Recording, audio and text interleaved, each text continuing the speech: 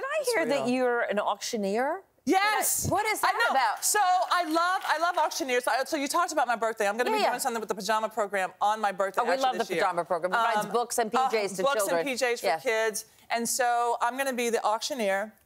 And um, let's say like if I had an auction off. Do you know how to? Have you ever been an auctioneer?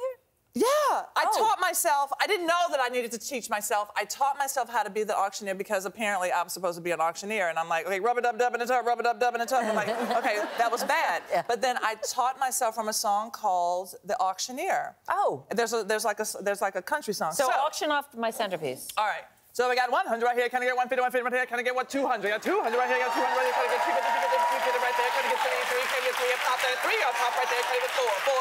Can I get 4? Nobody for 4, nobody. Oh, got 4 right here. Can I get 5? 5, 500 right there. 500. Yo, you know you gotta spend this money, right? okay. Yeah. Good. I, I love it. So I, I get, I really get into it, and then I shame people, and they're scratching Well, scratching that's the thing. A great auctioneer can really jack that price Yeah. up. Right? It's the way they do it. Mm-hmm, mm-hmm. Wow. So we're gonna be earning lots of money for the pajama program on my birthday. On your birthday.